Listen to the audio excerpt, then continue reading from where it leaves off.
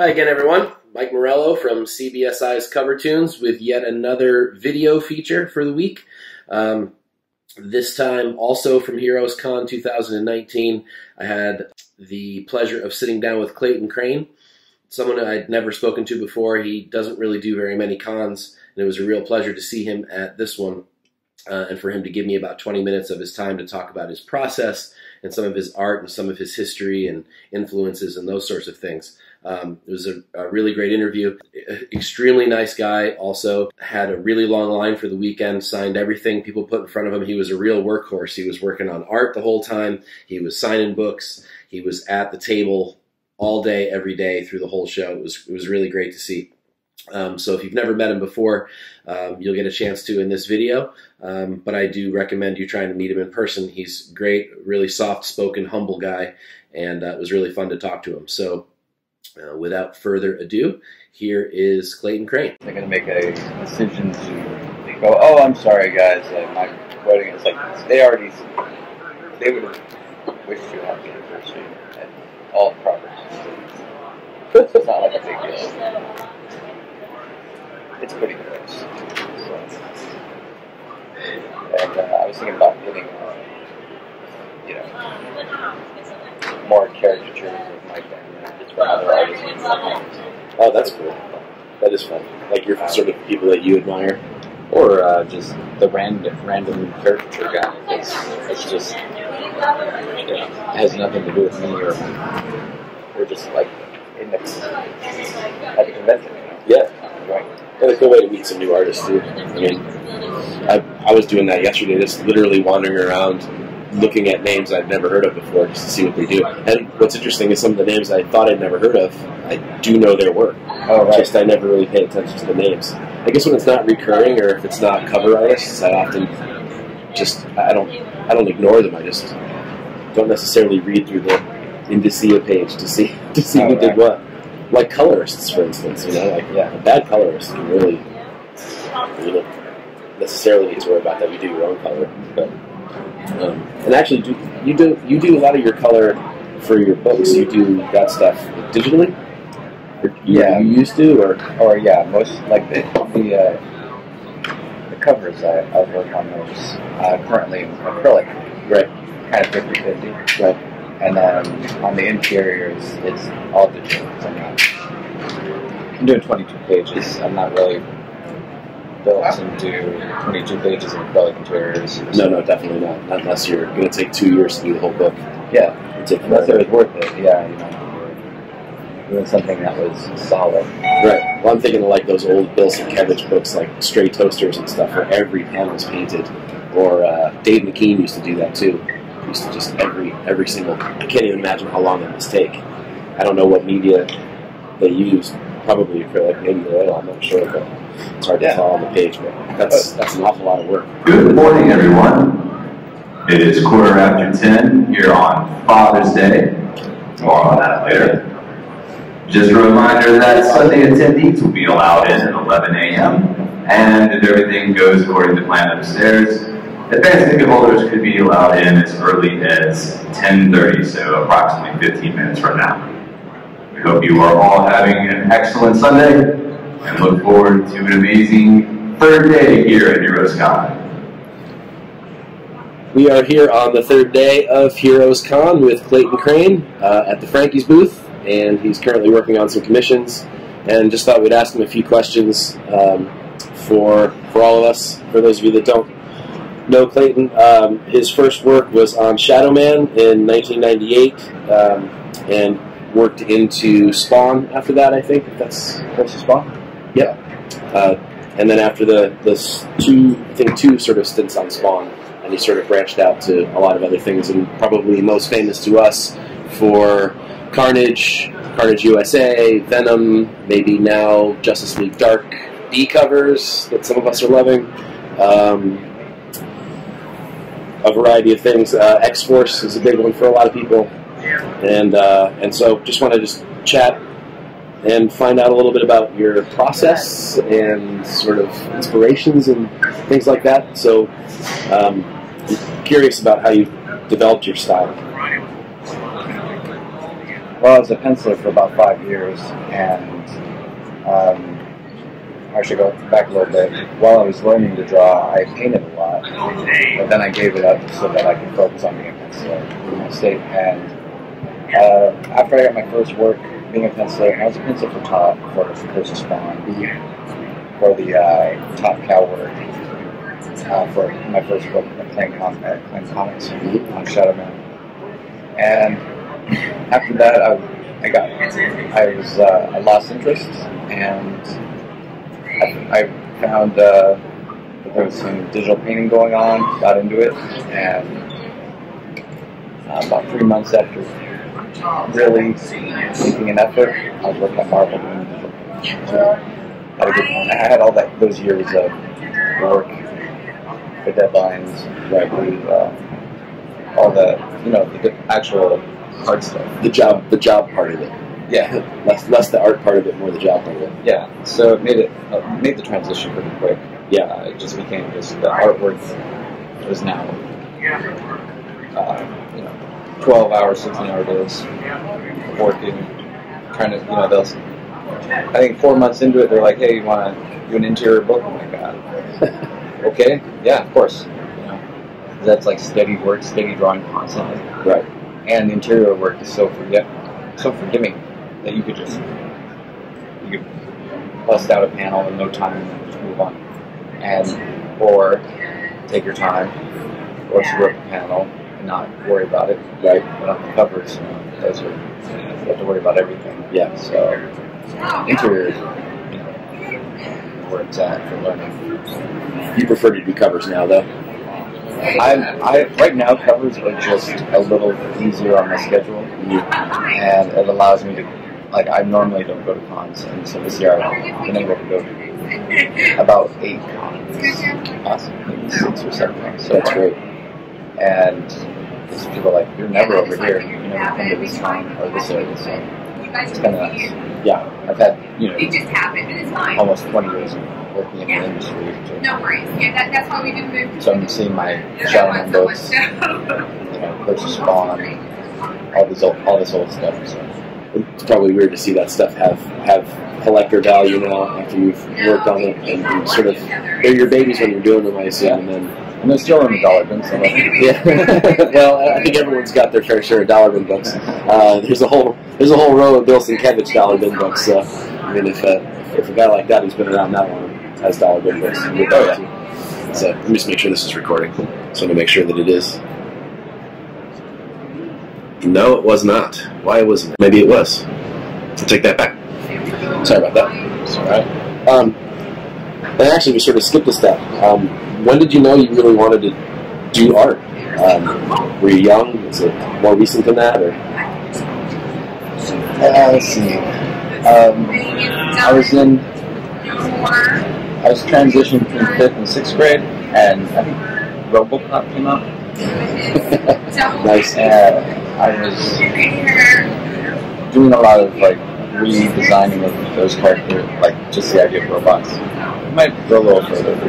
It's all very much a mess of memory. I don't sit down and you know I haven't written a book about it or anything, so you know I haven't really solidified my memory on it. But I would, I would work in class. I would draw in class, and one of the things, as far as getting into comic books, one of them was one of the my memories is I was in English class or social studies. I was uh, drawing some images and like, how can I justify this? how can I justify this if I ever, yeah, my the teacher comes up to me and tells me to stop. And I'm like, I'm, and one of them was drawing comic books. Uh, when I saw Todd McFarlane's work, I was like, oh, I can do this on a monthly basis. Yeah. 22 pages, No, that's, and then you know, five uh, five pages a week. You know, we're doing uh, 22 pages a month. Yeah, it's a legit, legitimate job. So I was pretty uh, pragmatic about it when I was young. Was your family supportive of it when you started to do it, or? or Yeah. not? Yeah. Yeah, I mean we're kind of kind of a scattered family. You know, we weren't like that some, uh, traditional family of being. Uh, Accountants and Yeah. lawyers and yeah, of doctors. the, of the community. you Right. know, we were the, we were the people where they're like, oh, these people moved in. Oh, there goes the neighborhood. yeah. Crains moved in. Yeah, now I bet you they wish they lived in the neighborhood now. Now that everyone knows who you are, definitely become a, a household name over those years. But um, so, would you say that you're influenced by other artists, or, or have been? Well, obviously Todd a little bit, I would assume, just from an admiration standpoint. But were there other artists that you tried to emulate, um, or tried to avoid emulating? Let's see. I didn't care so much for uh, Burne Hogarth, that drawing class. You know, Right. I was like, it's too round. It's way too round. Right. And it's just structured. As far as that goes, Yeah. I know people love it. People love learning from him. You know, just being honest about it. Yeah. I loved uh, Bridgman's work. Um, the, uh, yeah, but like, you know, Silvestri, Silvestri Jim Lee, yeah, those guys, Jae Lee, and they're, uh, they're all following, you know, uh, Tony Danza's work, all that stuff. Absolutely. You know, very, very fun, very, uh, very much worth you know, that's one thing is like getting into the realistic stuff and like don't get too realistic, start pulling it back. Have Yeah. fun. Yeah. Make it make it a little bit Stylize it a little bit, make it yours. yeah, or make it make it so it's it's if it's a if I was just doing realistic photographs, I would feel like they were they just don't like I would not read a comic book that had these photographs. That's true. Yeah. Yeah. No artistic interpretation of what you're reading. Yeah, get that. There's so much so much uh, variety in the actual drawing. I agree, and I love Jae Lee's work specifically for that. It's just there is nothing like a Jay Lee piece. People have tried to copy Jim Lee, you know, all the guys that you mentioned. Those those guys get copied a lot, and, and sometimes it gets muddled up and sort of buried underneath all artists that have done the same sort of thing. But Jae, Jae just stands out. You see a Jae Lee cover, you can see it from across the room. You know, it says even if you don't know beforehand, his name is on it. It's just got that style to it. I feel like your your work does now too. I mean, definitely um, since Carnage anyway. I think everything from Carnage onward, I can probably recognize as yours. Um, I really love what you're doing on the on the Justice League Dark books. Those are really cool covers, especially your Swamp Thing work. It's Yeah. really really cool. Um, you have a, I think you have like a solo Swamp Thing cover coming. Don't you? Isn't that, is that the next one? The next B cover? Let's see it. Uh, yeah, it was just the Wonder Woman one last, I think. yeah. And then uh, after that, I think it's Man Bat. And, Is it Tana? uh, yeah, she's last. Okay, cool. Oh, I'm looking forward to that one most. Yeah. Um, what what work that you've done in your career are you most proud of? Uh, let's see. You know that Carnage stuff I really enjoyed. Yeah. Uh, starting with Carnage. Uh, I'm really proud of. Um, X Force. You know, I actually liked uh, uh, Fort uh, Valiant's Rai books. Yeah. It allowed me to get through all of them. There's, uh, we did uh, Rai, we worked on Rai, illustrated all of it, I mean, myself. Then, uh, and then we did 4001, and that one I was, I was pretty proud of because there was, there was so much, or enjoyed so much. Yeah. Because there was so much 3D work that I started incorporating into it and drawing with 3D. Um, you know, painting my own. Uh, so when I working in 3D, I paint backgrounds two dimensionally and wrap like 3D work. Oh, objects that's cool. that, that I would create myself. Right. All of it I created myself. And it was fun. That I, I would say is, uh, and I don't, I don't see it very often. That's cool. I'm, I, you mentioned X Force too. I think you have probably probably my favorite X twenty three cover. That's tough. that's That Dell'Otto is pretty awesome. But there's that um, that homage to Underworld. Remember Oh. doing that one? Yeah. Oh my god, that, that cover is incredible. Very difficult to find cover, by the way. If you've ever tried to hunt one Yeah. down, you probably have one somewhere Yeah, I probably do. I thought, yeah, That's a great cover. Well, that whole homage set, I think you did a few of those too. yeah, we did. Uh, we worked on Death to Dawn. We, uh, pretty much every like Dracula, Yeah. Dracula. Um, of Lost Boys one in there, maybe. Lost Boys. What else? Um, uh, Buck Bussing. I understand. What else? But uh, yeah, and then um, what is, what is that last one? The uh, the, the movie with uh, Tom Cruise. Um, what's that? Um, Oh, uh, oh, that, I remember that one too. Those, are, I mean, that whole run is great. I think a lot of a lot of collectors really try to go after, after those, get the whole set. It's just a really good representation of, I think, of your work. Um, I obviously see a, lot of people wanting Carnage Venom things from you for the most part, but I mean, I Yeah. think that. Um, no, I love that work. Some of the other work that you've done is more more my speed, but. Um, Let's see. Um, any future projects that you're working on that you could talk about? hmm, Uh, you're allowed to talk about. I don't know if I'm allowed to talk about it, but I'm working on fourth uh, bonds. Fourth 3001? Oh, 301? I mentioned 4001. Three, It's been a long weekend. It's okay. 301 cover uh, for Spawn. Cool. We'll be doing some interiors for that. Oh, that's great. Yeah. Cool. I'll probably actually do. I'll probably do that in uh, acrylic also. The interiors. So, That's great. yeah, should be interesting. I like that everyone's focused on 300 right now because of all the crazy covers coming out for it. And just the fact that it's a milestone thing. Yeah, got Campbell on there, so Jeez. you can see that. but that's that's the issue where there's just a bunch of people doing doing different pieces of it. Is that? Yeah. That's pretty cool. That's I think both of them are. that's Uh, awesome. And uh, yeah, no, it's gonna be it's gonna be great. It sounds awesome. Do you have a? I'm sorry. Oh, I'm just Trying to make that thing open. yeah, didn't work out too hard. So, oh, go ahead. No, it's fine. Uh, are you? Um, do you have a specific sort of regiment when you really sit down to do work? Do you, do you make sure everything's quiet? Do you turn music on? Do you how do you how do you set up to to work? Well, obviously here you don't really have much of a choice. They're under the bright lights. I have two places to work, and one's on the couch, and one is at a drawing table. Yeah. So on the couch, I'm just sitting there with my family, drawing, working uh, with a like a companion. I just work on like a 16-inch screen. That's it. Um, the keyboard is very very clean, Yeah. and then uh, and then the and working at the uh, drawing table. That's about it. And you know, try to keep all your stuff clean and and over time, as you see the, the project work move on, the uh, the room is just a mess. You know, Yeah. Part- yeah, Means you're doing it right. yeah. It means I'm not paying attention to my you know surroundings. I'm just working. So, yeah. Is there uh, is there anything you haven't worked on that you wish you could work on?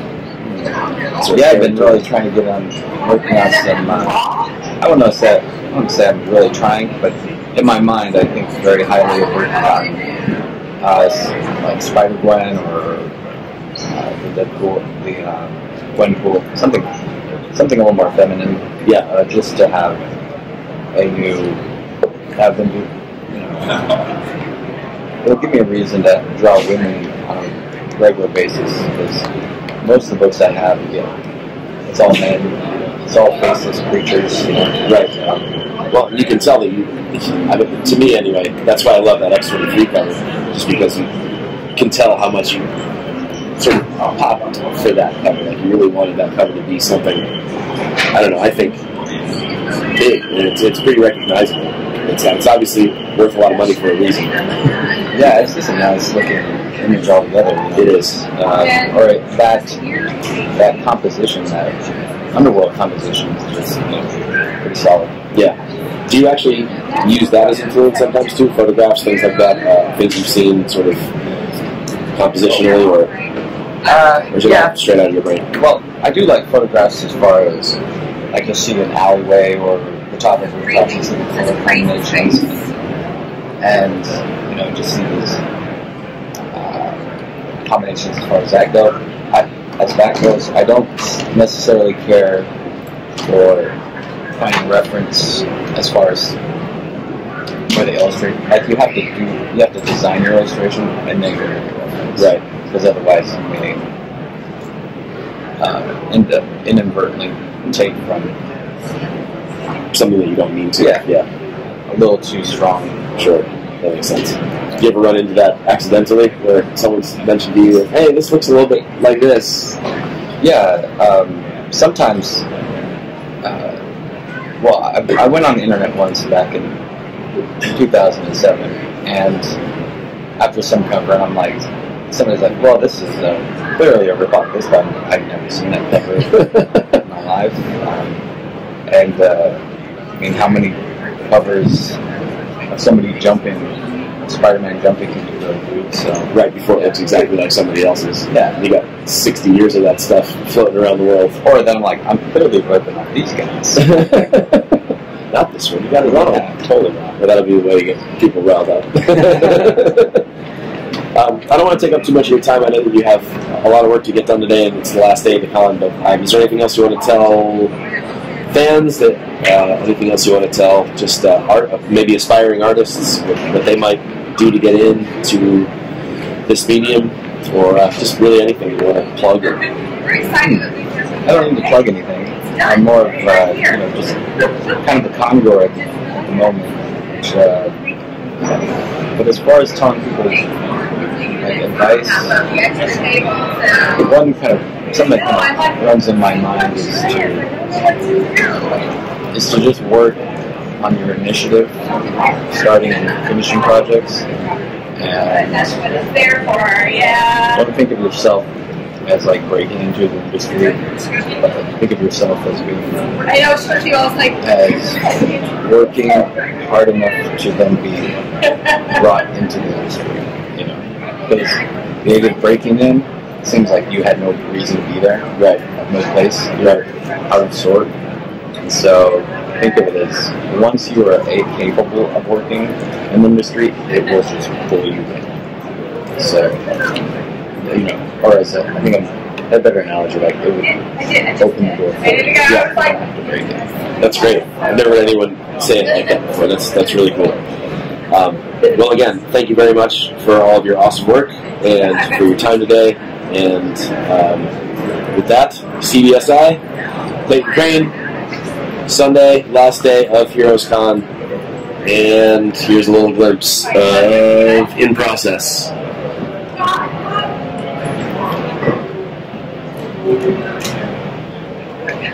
Thank you.